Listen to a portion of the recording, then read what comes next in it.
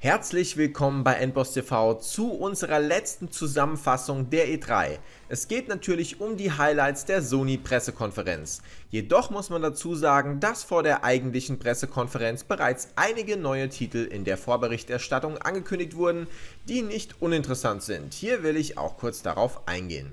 Es wurde zum Beispiel Playlink angekündigt. Unter diesem Label soll es in Zukunft Games geben, die man in Verbindung mit der PS4, einem TV und dem Smartphone spielen kann. Perfekt für Spieleabende mit Freunden oder der Familie. Es geht hier zum Beispiel um allerhand kreativen Blödsinn, Kartenspiele oder ein Spiel namens Hidden Agenda. Hier kann man mit bis zu 5 Spielern spielen und bekommt geheime Aufgaben zugeteilt, die die anderen Spieler nicht sehen. Jeder kann dann für seinen Charakter bestimmte Entscheidungen treffen. Der Rest ist quasi ein Film. Es ist von den Machern von Until Dawn und hat optisch auch sehr viel davon. Ein wirklich spannendes Konzept. Your decisions are almost like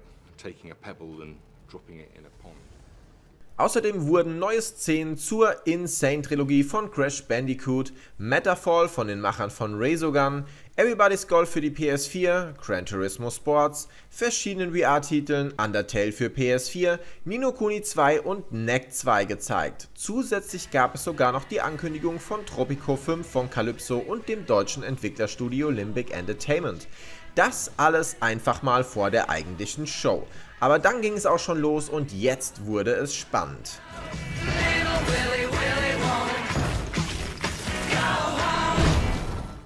Die Show wurde direkt wieder sehr spektakulär begonnen mit einem Live-Orchester wie im letzten Jahr und orientalischen Klängen.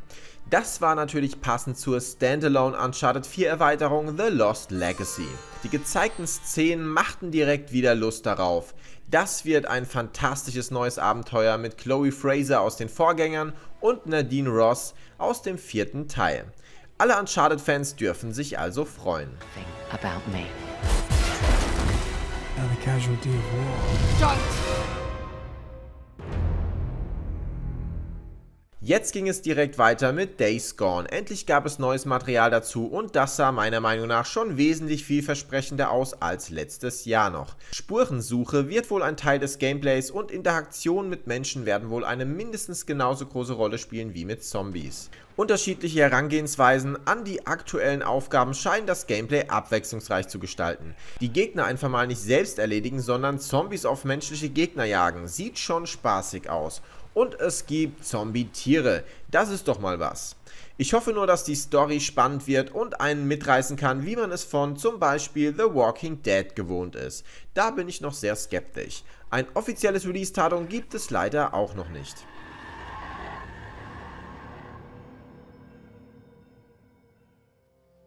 Es ging weiter mit einer ganz spannenden Ankündigung. Zwar kein Exklusivtitel, aber ein Titel, der schon lange den Weg auf keine Sony-Konsole mehr gefunden hat.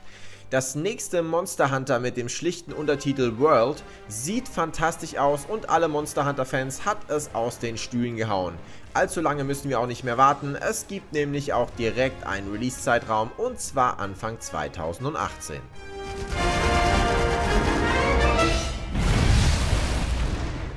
Jetzt kam wieder ein Exklusivtitel, ein Spiel, welches man schon kennt, jetzt aber erneut für die PS4 erscheint. Es wird aber kein Remaster, es wird ein komplett überarbeitetes Remake. Die Rede ist von Shadow of the Colossus, eines der großartigsten und bemerkenswertesten Spiele aller Zeiten und es sieht unfassbar gut aus. Ich freue mich sehr, aber wir werden noch etwas warten müssen. Irgendwann 2018 wird es erscheinen.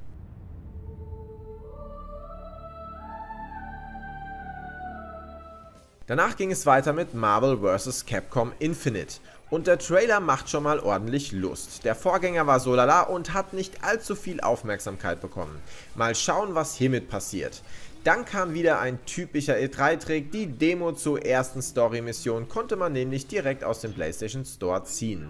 Was meint ihr, freut ihr euch darauf? Rocket aus Guardians of the Galaxy, der sich Ebony and Ivory von Dante aus Devil May Cry leiht, ist natürlich schon ein Highlight.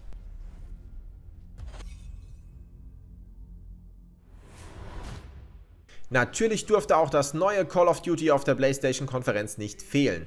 Activision macht, was Exclusive-Inhalte angeht, ja seit dem letzten Jahr gemeinsame Sache mit Sony und das nicht nur bei Call of Duty. Lange mussten Fans warten, dass es endlich mal wieder weg vom ausgelutschten Zukunftssetting geht. World War 2 sieht auf jeden Fall wieder erfrischend aus und der Trailer war typisch für Call of Duty ziemlich spektakulär.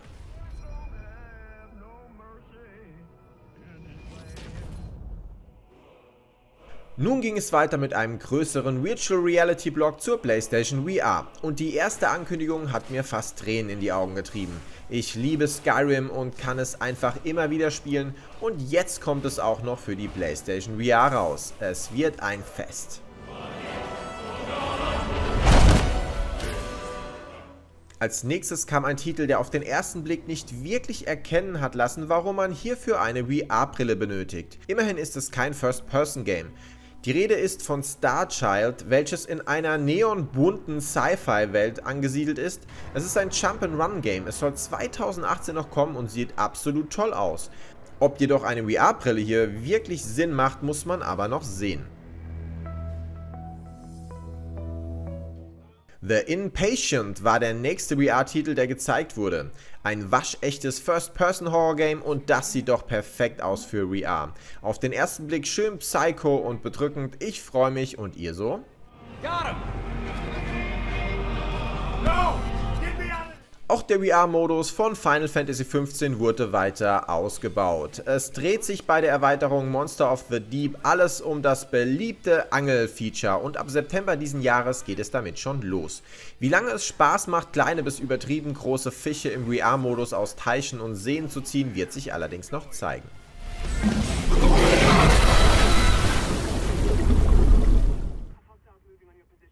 Es ging weiter mit einem VR-Shooter, der anscheinend rein für VR entwickelt wurde. Bravo Team nennt sich das Ganze und wirkt schon sehr nach einem Counter-Strike. Nicht wirklich sehr hübsch anzusehen, aber wahrscheinlich sehr kompetitiv und auf Team Esports Gameplay ausgelegt. Das hat mich jetzt nicht wirklich vom Hocker gerissen, aber wie das mit VR ist, das muss man selber spielen, um sich eine Meinung bilden zu können.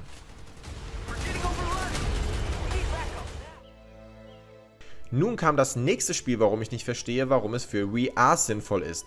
Ein süßes und sehr buntes Action-Adventure mit einer süßen kleinen Schwertkämpfermaus als Protagonist, die sich gegen kleine bis ziemlich große Gegner durchkämpfen muss. Moss nennt sich das Spiel, sieht ansprechend aus, was meint ihr und versteht ihr den Sinn hinter VR bei solchen Spielen?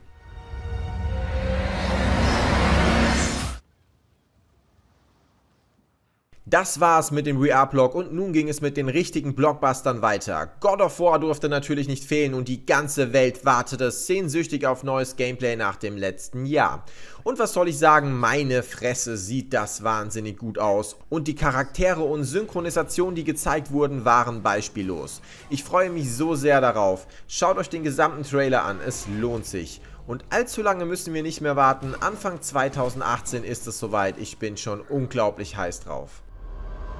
Wow, that was uh, something, that uh, fight.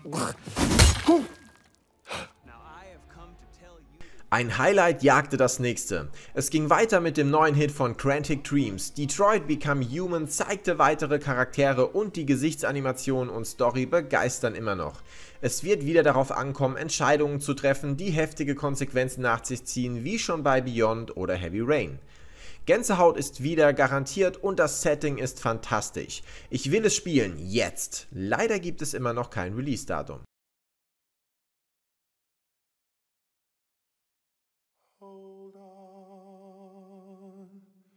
just a little while longer. Nun schlug mein Fanherz so richtig hoch. Als riesiger Destiny-Fan habe ich natürlich nur auf neues Material zu Destiny 2 gewartet und weiter wurde Wert auf eine episch inszenierte Story gelegt. Genau das, was im ersten Teil zumindest zu Beginn noch gefehlt hat. Am 6. September geht es wieder in die Schlacht, liebe Hüter, und das wird mich wieder schöne 1000 Stunden meines Lebens kosten. Aber ich bereue nichts.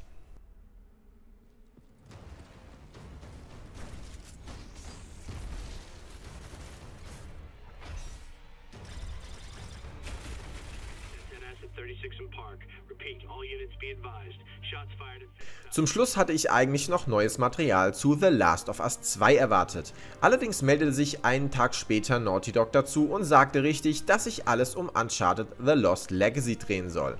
Man wollte sich nicht selbst die Schau stehlen und das ist eigentlich sehr gut nachvollziehbar. Ich bin mir aber sicher, es gibt dazu noch etwas auf der diesjährigen PlayStation Experience kurz vor Weihnachten zu sehen. Den Abschluss machte allerdings das neue PlayStation-exklusive Spider-Man-Game und das hatten nach dem letzten Jahr ja noch nicht so viele auf dem Schirm, würde ich sagen. Das kommt nach wie vor von Insomniac, den Entwicklern hinter den Spielen wie Sunset Overdrive, Ratchet Clank und der Resistance-Serie. Den Jungs kann man somit vertrauen, dass sie etwas ordentliches entwickeln und Spider-Man für die PS4 sieht aus wie ein großartig inszenierter Marvel-Film. Das nenne ich mal einen Lizenztitel.